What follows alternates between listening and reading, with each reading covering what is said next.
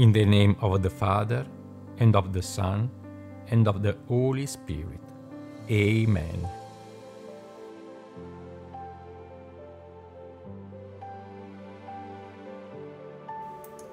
Holy Saint Rita, please teach us to pray and have a real dialogue and relationship with God. You prayed constantly and were very close to God. Show us how, in our hearts, we can always be with close with God through prayer.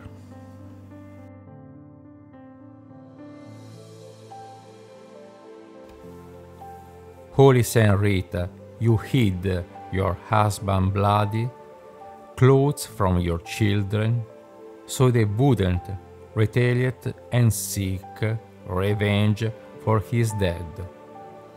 Help me to find the strange and peace that come with forgiveness.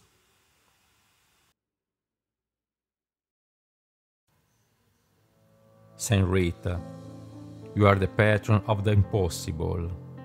In our time of need and suffering, we fly to you with confidence because you are close with the Lord. You were greatly burdened during your life, and you know what we are going through now.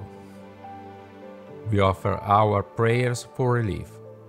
Please hear and answer us.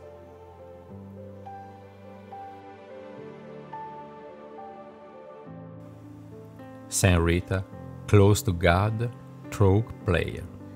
Pray for us.